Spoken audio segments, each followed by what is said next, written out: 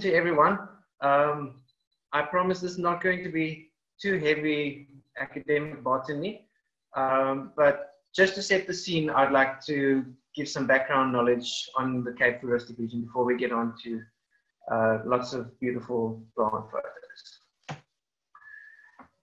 So the Cape Floristic region is a relatively small area of roughly 200,000 square kilometers. Um, but within this area, we have over 11,400 species, of which 78% occur nowhere else in the world. Um, and this is quite an incredible statistic. Um, the region is one of six global uh, floral kingdoms recognized and has the highest species diversity uh, in relation to the area. And also interesting, this is also the only part of South Africa that is winter rainfall primarily. The rest of Southern Africa uh, is all summer rainfall. So why do we have this spectacular diversity in Southern Africa or in the Cape Floristic region? Main reason is we've got diverse habitats and niches in which these plants can occur, um, evolve and adapt in. Um, we've got four main uh, vegetation units being fynbos, um, uh, and forest. Um, but if you look at it, at it a bit closer, um, you'll see even within a small area, you've got very diverse patterns of uh, fine vegetation units forming a mosaic within the landscape. And this has evolved that plants occur on very isolated little patches of vegetation and can vegetation differs greatly from one area 100 meters away can be completely different just because of the change in soil uh, or even aspect. But let's delve more into what these uh, makes these habitats and niches variable.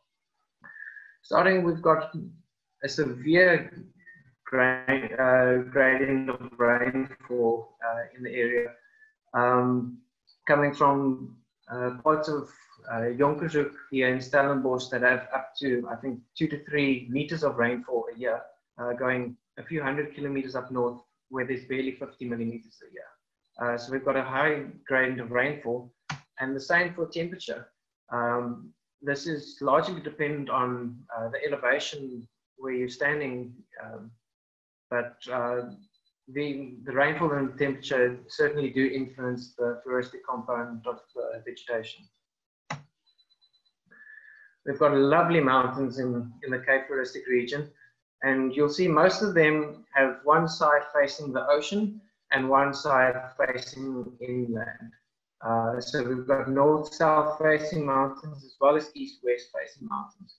And the flora on the, on the ocean side differs greatly from what you see um, on the inland side. And between these mountains, you've got incredibly rich valleys, um, which I'll be showing you also a bit later on. And within the Cape Flora, we also have greatly diverse soils, um, comprising mainly of uh, sandstones, shale, uh, granite, and limestone. Uh, but these are sort of intertwined in between each other across the landscape um, with the granites mostly along the coast as well as the limestone. Um, granites also up into Namaqualand and then the Table Mountain Sandstone Mountains and the, the valleys comprising mostly of shale-derived soils. Fire. Many people always complain uh, when there are fires on the mountains, but fire is an incredible driver of our vegetation, in, in particular the fynbos habitat. Um, you start off with a fire at hopefully an appropriate time of the year and appropriate vegetation age. And the first thing that pops up are normally the most beautiful flowers, your orchids, your, your irids, all your bulbs, uh, and your annuals. Um, what you see next is your short-lived uh, shrubs that um, often are legumes and um, fix an atmospheric nitrogen into the soil, uh, which enriches the soil to allow larger shrubs, um, either small shrubs or eventually when you get to your proteas to persist in what's typically a very nutrient poor soil. So what you have when you have a fire is you have a succession of different niches which different plants occupy uh, at some other time. And this allows to have incredible diversity even in a small area. And this is all led to having so many species in the Cape. Just some uh, interesting facts. We have 178 plant families uh, known from the region with about 1,000 genera. Uh, interesting enough, the 10 largest families make up 60% of our diversity. Um, and if you think of some of the large radiations that we have in the Cape, um, about 680 Erica species, um, and also 300 plus Aspalathus species that uh, and I are working on on and off. Um, and also quite surprising is the diversity that we have of restios, as well as the, the Iridaceae, which make up um, a large proportion of the flora. Um, what I haven't mentioned here is that the, the mesons, the Aizoaceae, and the, uh, the daisies, the uh, Asteraceae, each make up roughly 10% of the, the, total species diversity in the Cape Flora. Now onto the threatened species.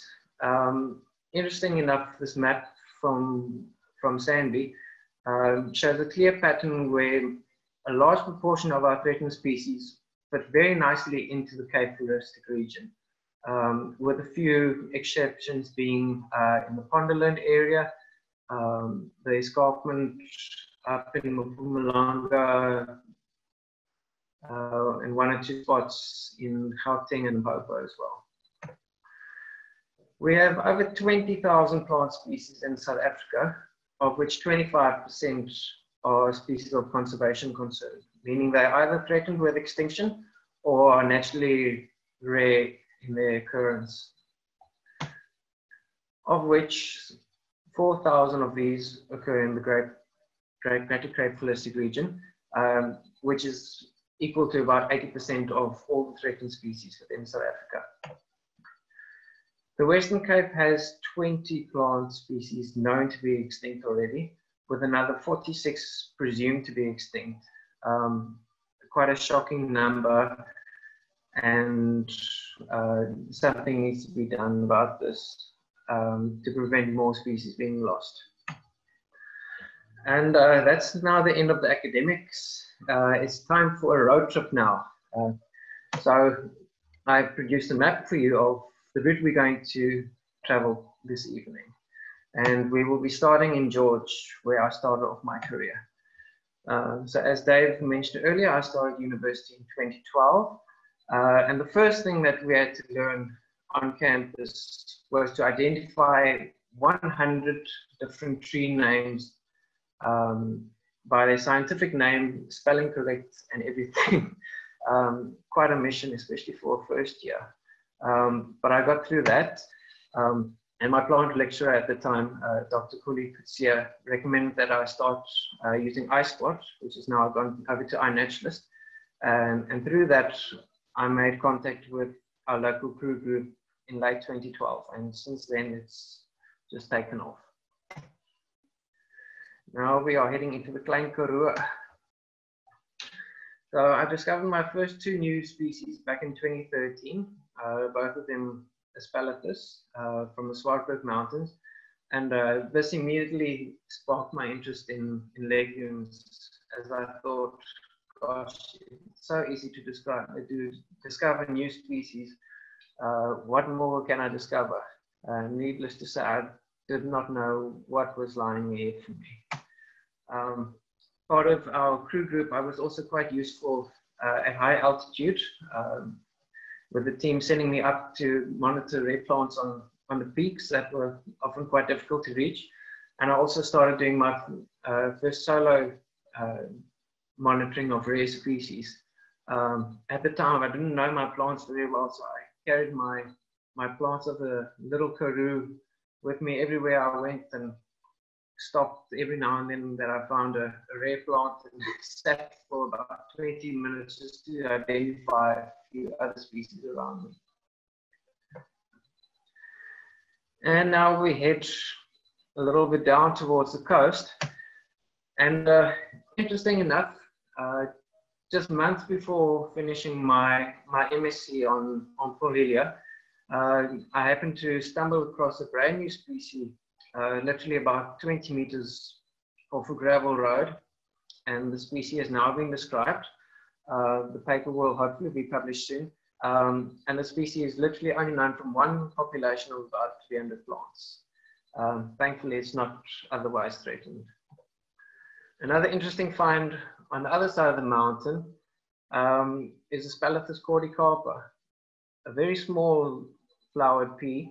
Um, the type of location has been completely invaded by, by alien black wattle um, and wasn't seen since the, the 1950s. Um, one of our best Cape botanists, uh, Jan Vlok, had gone several occasions to look for it at the site and couldn't relocate it, and as such, it was listed as extinct.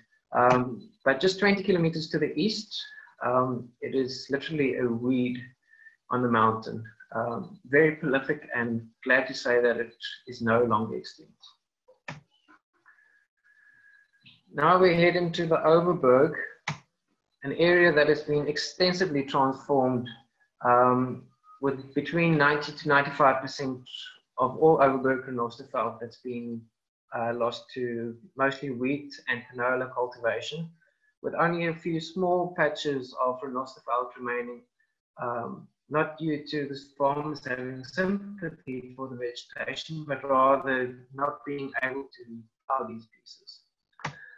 But interesting, even in, in these little pieces, you have incredible diversity that's holding on to a thread by survival.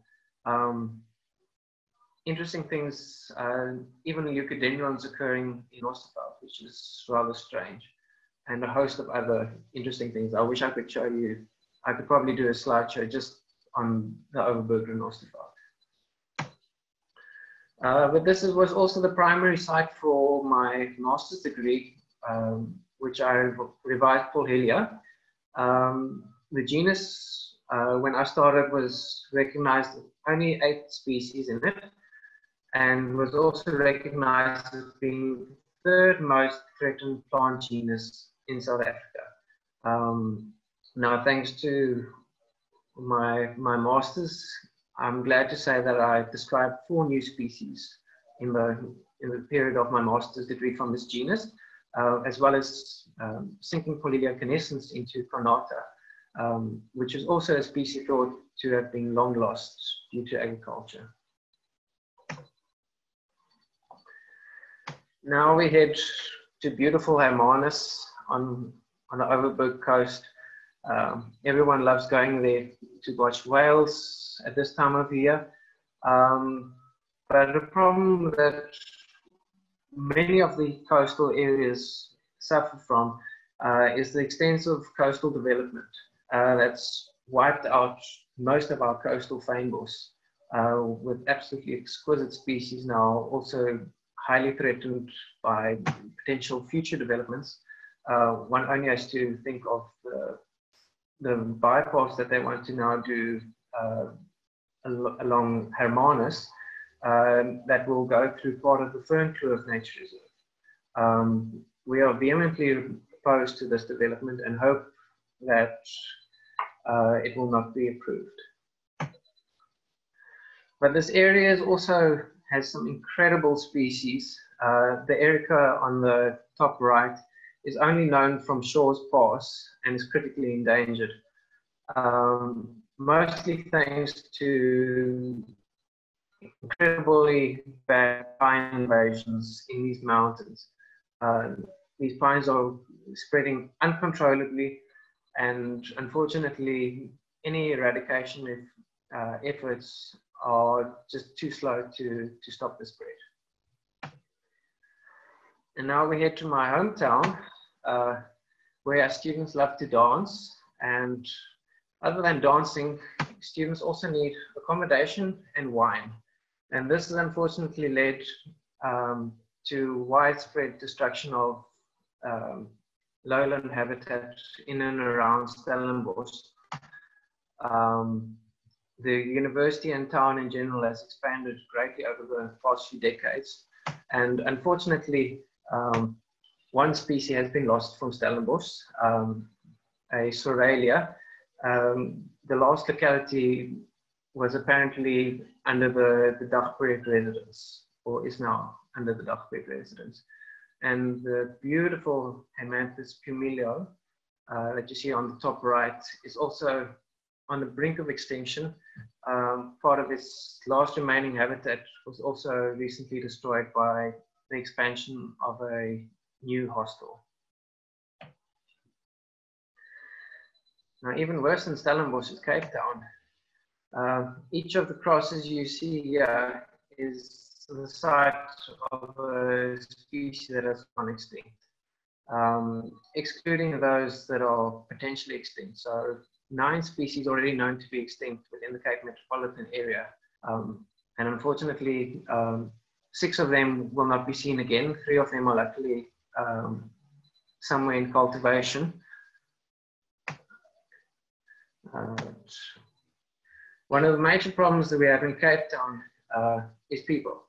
Uh, too many people, uh, and also people that um, think that pine trees are wonderful and should remain even in SANParks' area rather than restoring uh, native vegetation. But among all this devastation of our natural habitat, there is, or there are some rays of hope. Uh, just last week, I found one of my uh, target Indigofera species, uh, an undescribed species that only occurs on that little part of Lion's Head, as well as one part near Constantia, and that's all that remains for, for this undescribed species. Um, it's quite easy to walk past because the flowers are probably only about five to six millimeters in length total. Um, but still, uh, it's a precious little thing that occurs on that little piece of mountain. But if you consider all the devastation that's been happening around Cape Town, there's still incredible diversity of plants. Um, the total number of plant species on Table Mountain is greater than that of the, the whole of the UK. And there's absolutely beautiful species. Um, if you think of the, the silver cone bush on the bottom left, um, and so many others. I wish I could include more photos as well. now we're taking a quick detour into the Tulbagh Valley, uh, another exceptional valley. Uh, has also lost a lot of uh, vegetation to um, agriculture, mostly uh, pear trees and peaches and also um, fields of wheat. But uh, in the remaining pieces, and especially on the mountain, there's some exceptional plants. Um, the Ixia viridiflora on top right uh, being one of them. And also from this area uh, comes probably my, my greatest find that was completely by accident. Um, last year I happened to stumble across this rather obscure looking Psoralea that turned out to be Psoralea catarrhata that hadn't been seen in over 200 years. Um, and I'm glad to say that it's quite prolific in the area that it is growing, um, but it has to be monitored as there are alien plants uh, in the area. Um, luckily, they occur in valleys that are not seeming to be uh, destroyed for further crop agriculture. Now onto the Swartland, uh, another area similar to the Overberg, um, extensively transformed. Over 95% of the vegetation has been lost. Um, but in this area is also incredible diversity of, of species that occur on the small isolated patches of vegetation. Um, one particularly of interest to me, um, and I'm sure Dave Peppler is not even uh, aware of, is that this Babiana has inverted its flowers. Um, that the reproductive parts are actually at the bottom end of the flower, where your normal irids always have the reproductive parts at the top of the flower. Uh, just an interesting thing uh, to show out. This specific Babiana is listed as critically endangered as well. Um, but absolutely beautiful species. another interesting find up in the Swartland area was Polhillia ignota, another species that was thought to be extinct for, for over 80 years. Um, and since rediscovering it in 2016, um, we've managed to locate a total of four populations now, uh, consisting of over 200 plants. Um, so there is yet hope for some of our critically endangered, potentially extinct species. The cost of a cup of tea, that includes me. Uh, this is on top of the Cederberg. Um, unfortunately, the lower areas uh, surrounding the Cederberg have not been so lucky. Uh, I love my rooibos tea as well, but I, I cringe every time I drive past the area and think that I'm contributing to to the destruction of the area. Um, and quite sad that they're actually destroying actual rooibos tea habitat uh, to plant fields and fields of rooibos tea and thus endangering the natural populations of rooibos. Um, but this area, again, has incredible plants um, in these pieces that remain uh, and also on the higher areas. And one has to hope that um, further expansion of rooibos cultivation is significantly uh, suppressed. Otherwise, we're going to be losing a lot of incredible species. Um, unfortunately, Cederberg is not the only area that, that's been suffering. Um, one only has to look at this uh, Google Earth image of the Gifberg um, to really become worried. The total area of the Gifberg that's been lost to rooibos cultivation is probably between 30 and 40 percent. Um, and the Gifberg is also home to incredible plant species. Um, the indigofera on the top left corner, um, literally only known from one or two little spots on the Gifberg, uh, as well as the oxalis on the bottom left, bottom right hand corner, uh, growing in the seepage areas very near to this indigofera of mine. Of potato.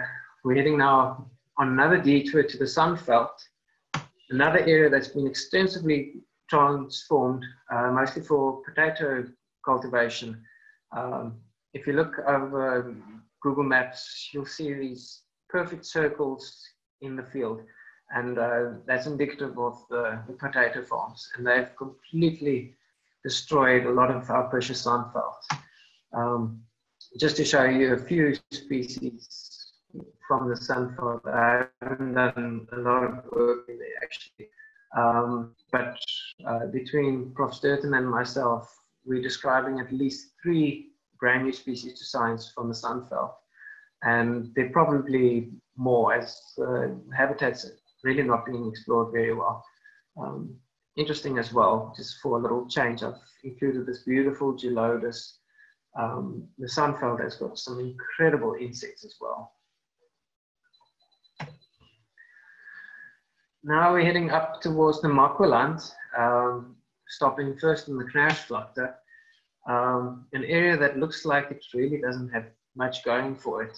Um, but this area has been heavily hit by poachers, um, mostly for conophytums and other succulents uh, for the illegal trade. And unfortunately, these plants get taken out by the ton in these areas, and many of these species are now becoming incredibly threatened. Um, here's just a few photos of these readily collected species from the area, uh, including conophytums, uh, ornithoglossum. Um, one of my favorites that I recently saw was this beautiful uh, Larilegia. Um, that I found here in the Richtersveld. Absolutely beautiful little thing. Our final stop is where I did my last long field trip to, and that's the Richtersveld. Um, beautiful area, um, and quite interesting that one of our largest rivers flows through the area. And just a few kilometers away, we have iconic um, aloe species that are busy dying off in mass. Um, this is Aloe pearsonii, and unfortunately, due to the drought of the last seven years, um, driving through the area, I estimate that there was probably a population reduction of about 90%. And uh, if there's a further drought, the species will probably go extinct in the area within 10 years. Um, but obviously, the main threat that this area is, is facing is climate change. Um, and we have to all play our part in uh, mitigating the effects of climate change. It may be too late for some of these beautiful iconic species like the kokerboom, um, but we hope that it's not. Um, and climate change is likely to result in the loss of species in this area. Um, and are we expecting a, a, new floristic composition? I don't think so. Um, but interesting enough, like many, many of the deserts across the world, the Richtersveld is also incredibly diverse uh, in annual species. So these are perfectly adapted to, to the desert environment where they only emerge after, after sufficient rain, flower quickly, set seed, and then die back. Uh, also quite a few geophytes in here, um, but overall the majority of species are annuals. And we can only hope that the Richtersveld does not lose its iconic trees and, and aloes. Uh, but that's the end of, of this road trip. Um, I think the take home message is that we need to be aware of, of what we do uh, directly and indirectly to the environment um, and try to mitigate our personal impacts on the environment uh, either through recycling, um, purchasing locally produced produce, um, many things. We just need to be aware of the situation going on around us. Uh, so that's enough of that. Um, what lies ahead for me is I'm busy with my master's of PhD, um, revising the Indigofera within the, the Greater, Greater Cape region. Um, we presume that, are, that there are 120 plus taxa, although um, her numbers just seem to be increasing as the days go by and I keep on doing more field work. Um, there are over 40 plus undescribed taxa just from this region in this genus. Um, and I've luckily collected over 75% of all the Indigofera taxa in, a, in and around the Cape Floristic region um, in the last 16 months. So I've been quite busy and uh, as you can see here, I've really chosen a beautiful group to work on. Um, I've got my work cut out for me, but I've got incredible support behind me. Um, and I hope to finish my PhD sort of towards the, the beginning of 2022. Um, I'd like to thank my family and friends for all their support over the years, uh, crew members, crew leaders, um, the team from the Red List, um, my mentors and supervisors that have um, come in tonight to listen to the talk. Um, greatly appreciate them. Um, to the universities that I've been and I am affiliated to, um, very grateful to them as well. And also to the NRF. I was very fortunate to receive quite a bit of funding for the study for various aspects of my study. Uh, and thank you for listening tonight.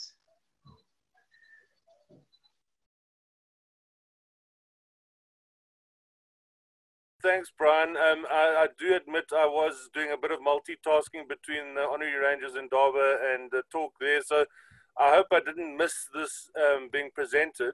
But if I can ask, I think the, one of the bigger threats to the biodiversity is global warming and climate change and those things which you did touch on. But is there a threat to the biodiversity through uh, cut flower? Um, sales and that kind of thing? And then the second part of that question is there um, uh, sort of initiatives to try and plant these plants that are more rare in people's gardens in conditions where they can almost make them more um, uh, common or th- th- that there's actually environments where they could survive um, where biodiversity um, is being challenged due to um, areas uh, lack of habitat? Uh, thank you for the questions, Marty.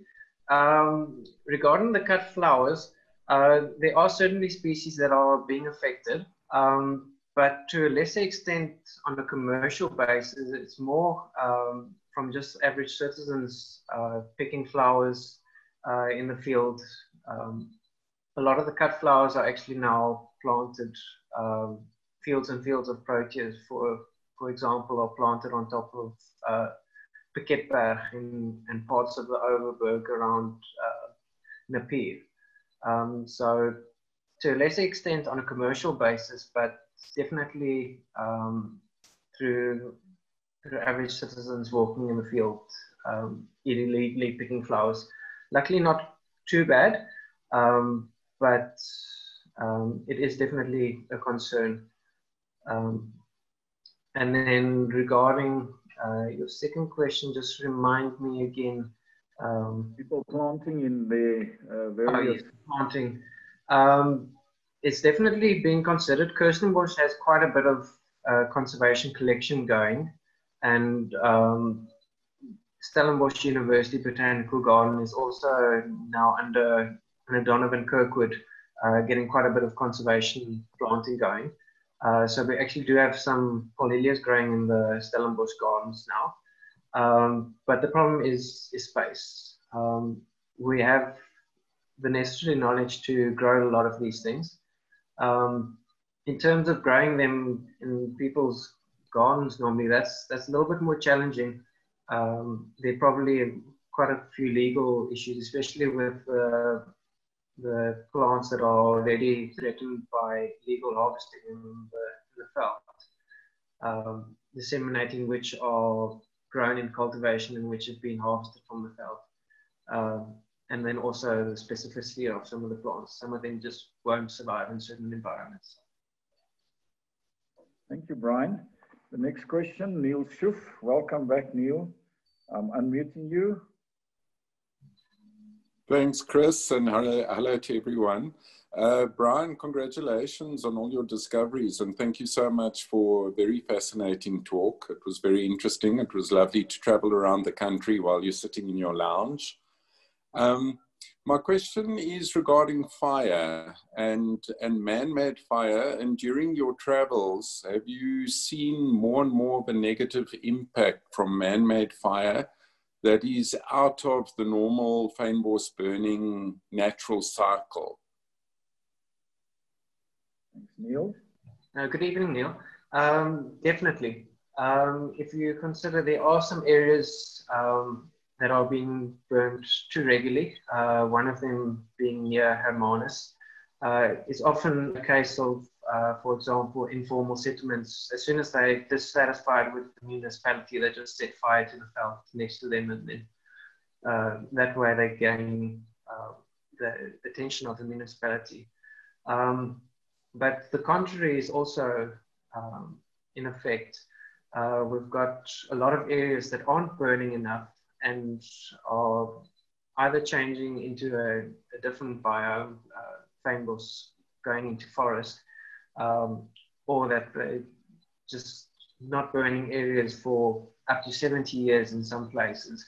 And you see a dramatic decrease in the number of species around. Um, hopefully most of them will return after a fire.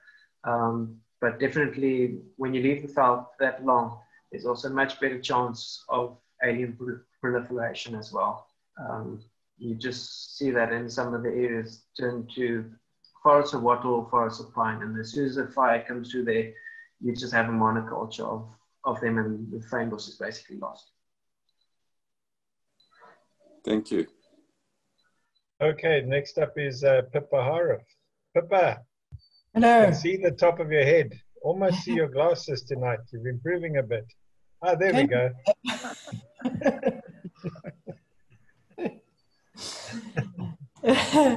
yeah, I, am going to get help. I've been I've been promised help.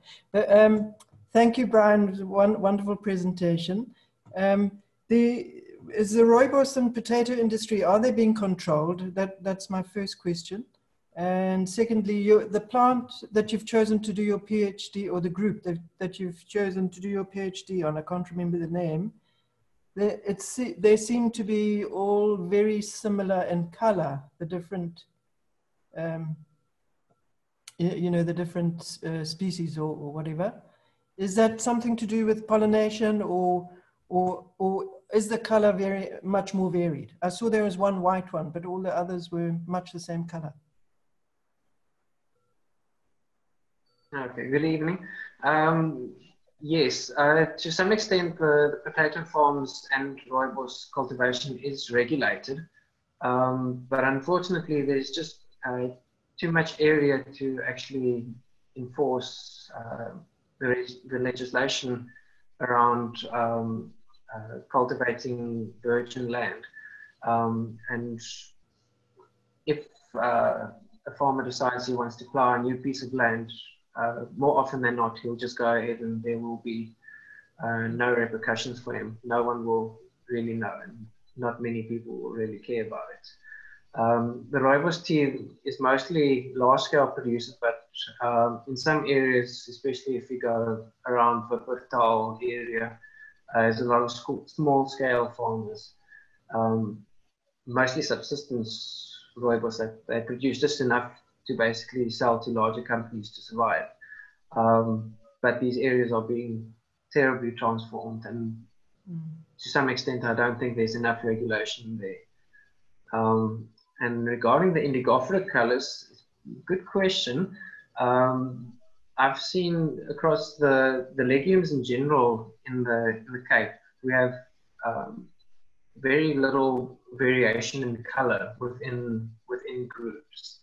Um, so if you look at the 300 Aspalathus species, we have, for example, more than 90% of them are yellow flowered, and then just the odd one is either pink, red, or, or white flowered.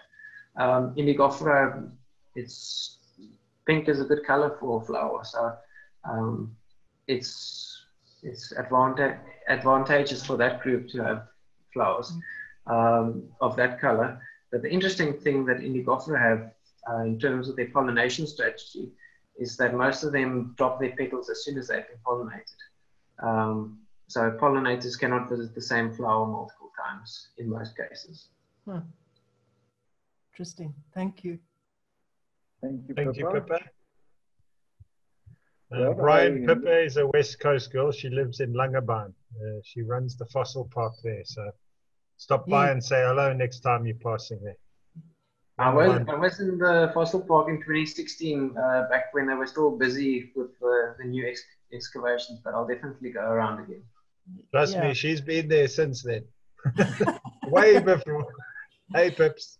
Yes, and we've got fossil pollens of uh, fynbos from our deposits.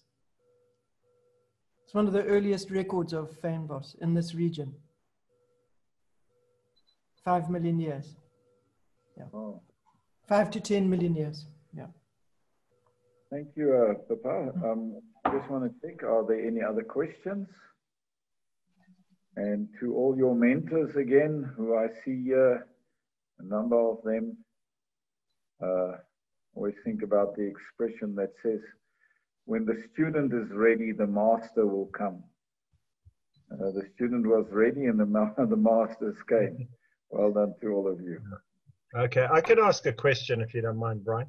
The um the yes, the obviously the the the fynbos is obviously now very very um patchwork. It's it's it's completely it's completely broken up into island little islands of of of habitat in in lots of places.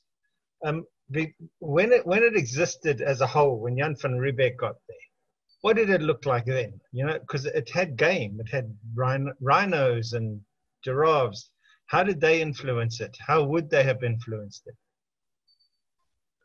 Yeah, Rod, I think every one of us around here today wish that we could teleport ourselves back to those days just to see what it looked like. Um, but I think back then when we had large large mammals, they probably played an important role uh, especially in seed dispersal. Um, I think of the Polhillias that I studied for my MSc and how patchy their distribution was. And I could only think that potentially large mammals such as black rhinos would have um, eaten the seeds and then disposed of them a couple of kilometers away. Because um, otherwise, in general, the seeds just fall straight to the ground and then grow from there. So there must have been some way that seeds were dispersed. Um, otherwise, um, there was probably not enough game to create lawns and, and stuff uh, like we have in Savannah. Um, but if I think the, the Overberg Renosterveld as well has quite a high grassy component, so there were probably a lot of large mammals in there. Yeah. Thank you. Any other questions? Any comments from any of uh, our distinguished guests on tonight? Just raise your hand. Okay. Fine, it seems to me we on the hour. Linky told me she was rather uh, forceful saying keep it short, which you did. And thank you. And uh, I, I think that we uh, want to thank you again for your wonderful talk tonight. And we want to encourage you to keep going, Brian. That's one thing. I, you, you, uh, the, the, the sky's the limit for you. I can see that and just want to encourage you and all of those of you who are involved, keep supporting, keep going. And if there's anybody who would like to also help contribute to the protection of the plants, do connect with custodians of rare and endangered wildlife flowers. I think it's Tsitsi ZA. So um, please do that. Okay, then uh, now we are formally done with the discussion tonight. We can unmute or you can, we will now allow you to mute and unmute yourself as you wish. And then you can chat with the family and say hi to whoever you would want to until we have only 25 on the screen and then we, then we close it. Prof. I think Marty's got his hand ris, ris, raised again, risen his hand uh, again. Marty has arisen. I, I thought it's a blue sky behind Marty. Okay, Marty. so, so Rod actually Rod actually asked the second question that I had in the in the breach, but I'll ask uh, my last one then. Um, a lot of these um, areas where flowers occur are outside of reserves or national parks or anything like that. It's on private property or just open on the sides of the roads, etc., and on farms. Do you think is there a strategy to try and enlarge the national parks to include these areas so that the biodiversity is protected, or uh, is there like is, is that a viable option to try and make half of those, well, not half, but you know, all those areas actually into some kind of a extensive national park. Is that a viable option? So a lot of the small areas, uh, particularly in the lowland regions, um, we have conservation agencies, uh, for instance, in the in the Overberg, the Overberg Lowlands Conservation Trust, uh, that engage actively with farmers and um, encourage them to sign conservation easements especially if they have uh, small pieces of vegetation with uh, endangered species on their land. Um, and that way, through the, the easement agreements, um, it is basically written into the title deed, as far as I understand the, the legal jargon, um, that no one in the future, even if the, the farm is sold to someone else, may plow that piece of land further. Um, in terms of engaging with uh, SANParks, Cape Nature, for instance, um, that's something more that the, the Redlist team does. So our CREW data um, on rare and endangered species that we find uh, is fed uh, straight to the, the Redlist team. And from there, they decide on both the, the status of the species and then also identifying priority areas that need to be conserved and then they will engage with SANParks or uh, local conservation agencies uh, to look at either expanding reserves, um, getting conservation agreements with farmers, um, or starting private local nature reserves.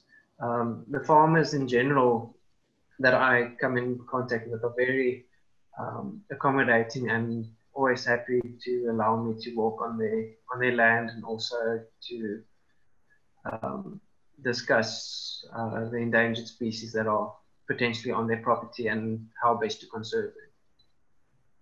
And in terms of um, the tourist market, are local farmers actually seeing a financial benefit to um, conserving those areas of their farms um, through the tourism, or is that you know kind of there's, there's a, it's, it's quite difficult. You can't make each person that comes onto your property pay because it's kind of open. I just is there is there a sort of a model or a framework that's been thought of to try and you know conserve it going forward, but also you know making a value attributable to it.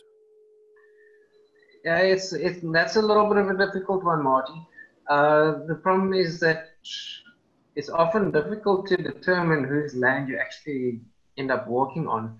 Um, it's so easy to hop over a fence. I think a lot of us do that and end up on people's land that we don't have permission for. Um, but in terms of um, it being a viable tourism option, um, probably in most cases not. Um, you're probably aware of the, the spate of farm attacks that we have in South Africa in general. And uh, thus farmers are a little bit wary of allowing strangers onto their property. Um, you normally have to make prior arrangements. And um, if you do, just pitch up there, just hope that they're friendly. Um, and in general, the, the, problem is that there's so many little pieces um, it's not really viable to market a single one of them. Um, there are nature reserves, uh, the Overberg Nature Reserve, Haarwegskloof, uh, that's the largest remaining piece of Renosterveld that's, that's open to accommodating guests. Um, and definitely if people are interested in seeing some very beautiful species in the Overberg, uh, that they can consider visiting Haarwegskloof Nature Reserve. Um, it's down between um, and Swellendam. Um, unfortunately, the small pieces, they're just basically there. Um, there's no real financial gain for the farmers. Um, most occasions, they just can't plow the land, so it just stays there. Thanks, Brian. Brian, I see Sibyl Rietmiller wants yes. to ask a question. Sibyl? Yes, actually, uh, Brian, haven't you been to Grootbos? Grootbos or the Eastern Cape? This is a private protected area entirely uh, relying on protecting fine fynbos vegetation. And they're running for decades and they're doing okay as long as tourism was, of course, going okay. So they are, have a lodge and it protects a large area of wonderful fynbos. I think, uh, Chris, you have been there or you have been in touch. In yes. Yeah, you're talking, yeah. Uh, Brian, the, uh, you, you definitely know Grootbos at Hermanus. Yes. Uh, yeah. Uh, yeah, I was I was there in in May. Um, uh, one of the girls that works there, Rebecca, actually discovered a, a brand new indie indigo. So uh, during lockdown, I sort of made a, a roundabout trip to quickly go and collect it. Um, no, it's for business. It's fine. I only learned from Grootbos now. Yes, and it's a park uh, entirely of, of vegetation, you know. They have no major animals and they are protecting the park with business, which is tourism. But of course, tourism at the moment is uh, very low, so they're just trying to recover now.